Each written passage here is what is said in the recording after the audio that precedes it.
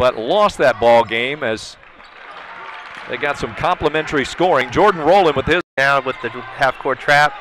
stolen out. away. There goes Wooden all the way to the glass.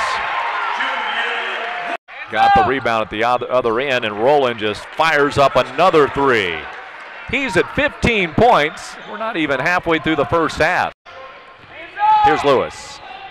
And it's not like they haven't worked on free throws. And Lewis draws the contact. That's a nifty move for the junior. Scored by Walker. He scored the first two points tonight. He's got four. Williams drives to the hole and count the basket.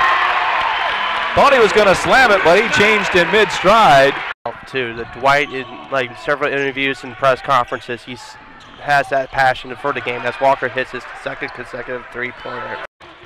I hate to say it, but that's an improvement from the from the other night. Mm.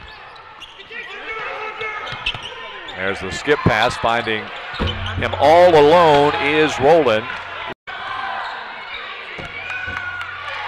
Parker scores it for the Dukes as the horn sounds, but it's a 12-point lead for the Northeastern Huskies.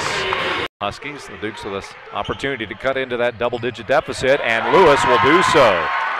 Back in 1977, the first meeting. And there's Wilson.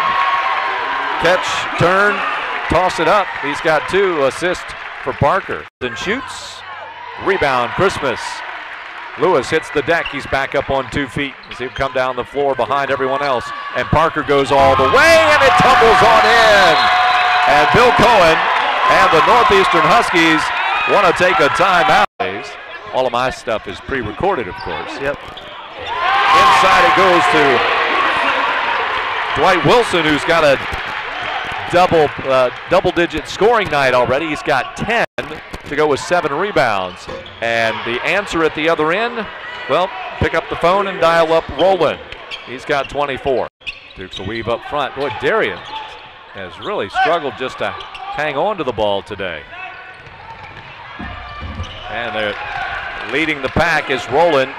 He's one for four from the field. Shoots at 50% coming into tonight's contest. Parker, good finish.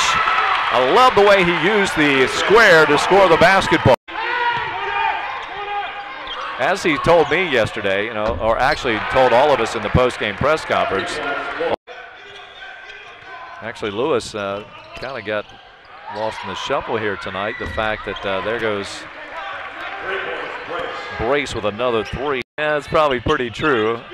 Let's talk hoops. Let's talk slam Michael Christmas. And only seven games remain in this facility. Moving to the Atlantic Union Bank Center. We've had some of the commercials of that point. That's the end of the ball game on the miss of the three-pointer.